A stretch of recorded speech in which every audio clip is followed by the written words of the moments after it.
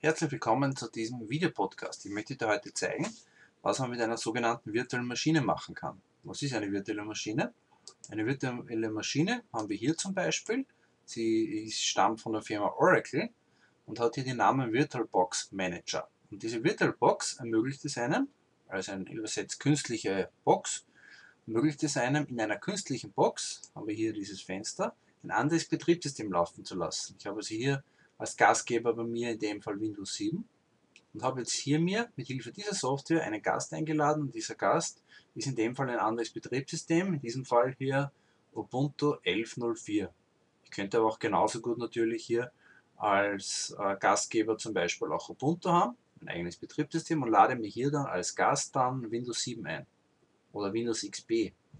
Das heißt, ich kann mit einem Betriebssystem erschaffen, gleichzeitig mehr in mehreren Fenstern eben dann, mehr Betriebssysteme laufen zu haben. Und das ermöglicht mir zum Beispiel ganz gefahrlos, ohne dass ich meinen Rechner endgültig da äh, belaste, dass ich mir einfach ein Betriebssystem ausprobieren kann, ohne Probleme für mein bestehendes Betriebssystem.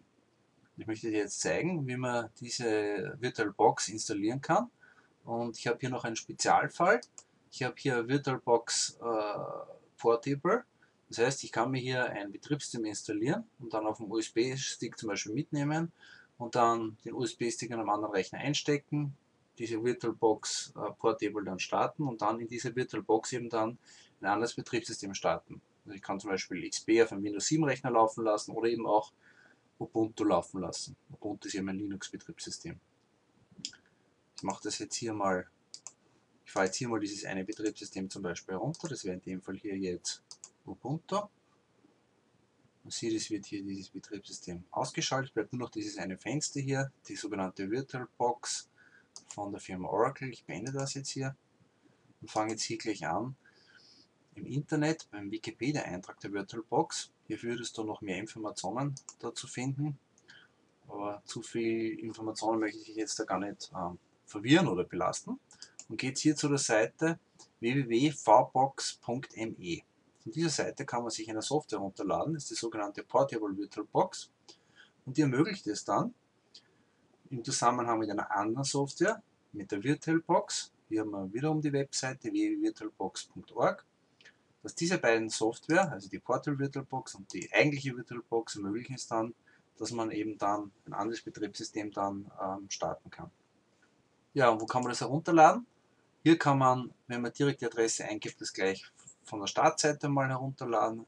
In dem Fall bei mir für Windows lade ich mir herunter in meinen Ordner und dann hier bei VirtualBox von der Firma Oracle, hier sieht man das hier eingeblendet, geht man auf Download und sucht sich dann das Gast, äh, den Gastgeber praktisch aus. In dem Fall ist es bei mir ein Windows-Rechner und ich kann dann hier äh, draufklicken und kann dann ebenfalls die Datei herunterladen und dann gibt es weiter noch die Möglichkeit, dann hier sogenannte ein Extension Pack herunterzuladen.